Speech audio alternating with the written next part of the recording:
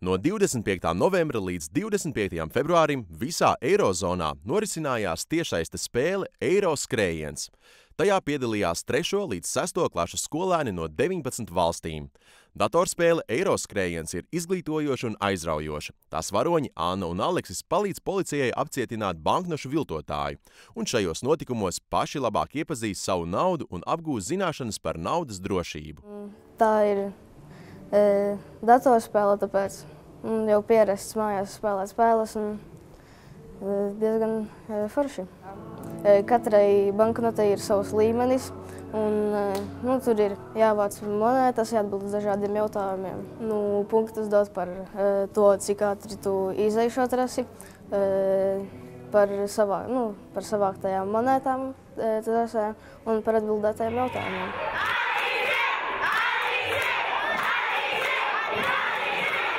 Tur var iemācīties mm, daudz ko jaunu, piemēram, kādas eiro monētas ir, ir citām valstīm, jo, jo Latvija ir mildā, Vācija, piemēram, ir ērglis, un mums centi viņiem ir ozola un zīle, ozola lapas.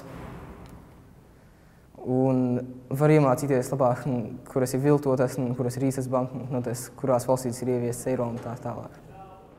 To simt spēlētāju vidū, kuri tiešsaistes sacensībās ieguva visaugstāko punktu skaitu, bija 47 skolēni no Latvijas.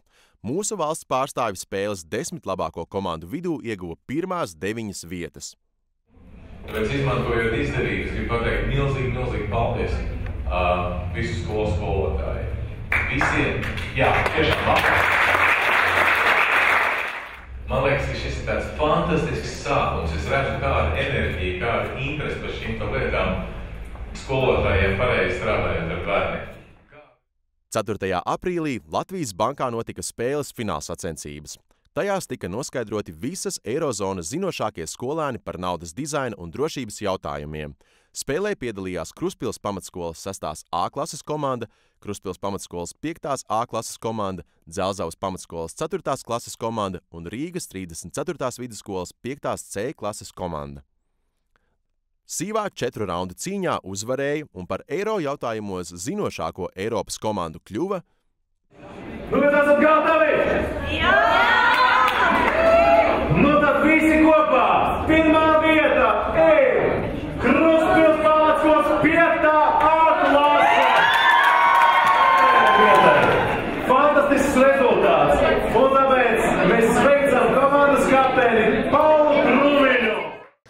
Mums jāva uzvarēt vecāki, mēs paši, skolotāju atbalsts, laime un asaras.